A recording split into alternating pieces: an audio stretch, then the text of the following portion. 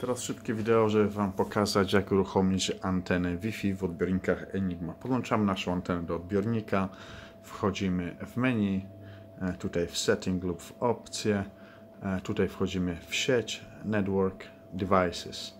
Devices będziemy mieli nasze połączenie LAN i połączenie Wi-Fi. E, VLAN to jest antena Wi-Fi.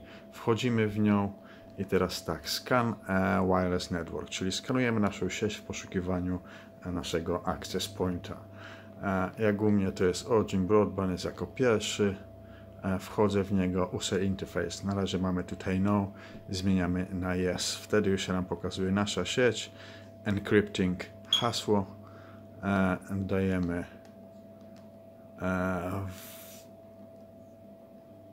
WPA albo WPA dwójkę zaznaczamy. I teraz tutaj wklepujemy nasze hasło przez naszego pilota, takie jakie hasło jakie mamy w naszym routerze.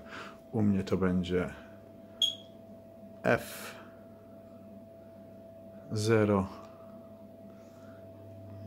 EA E A.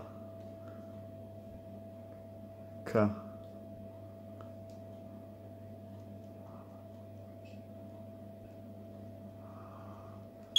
W